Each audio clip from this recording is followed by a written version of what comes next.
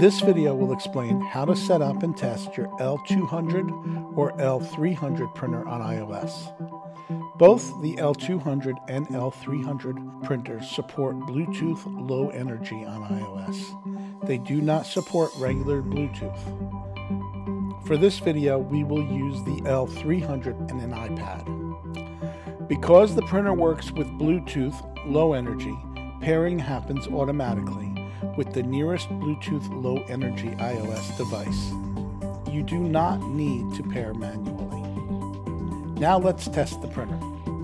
Open the App Store and search Star.io SDK and download the Star.io SDK.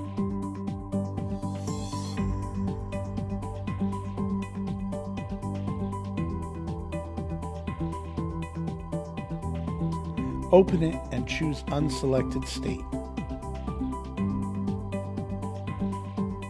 Select Bluetooth Low Energy. It will find the printer, so select it when it does.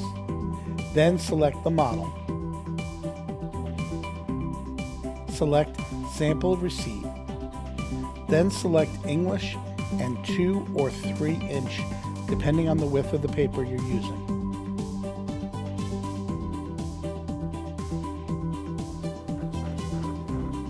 Congratulations!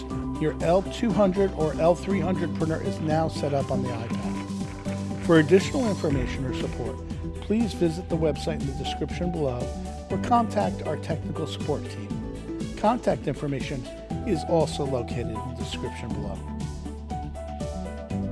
As always, you can email us at http colon forward slash forward slash www.starmicronics.com slash supports slash technical support.aspx or call 800 782 7636, option number three.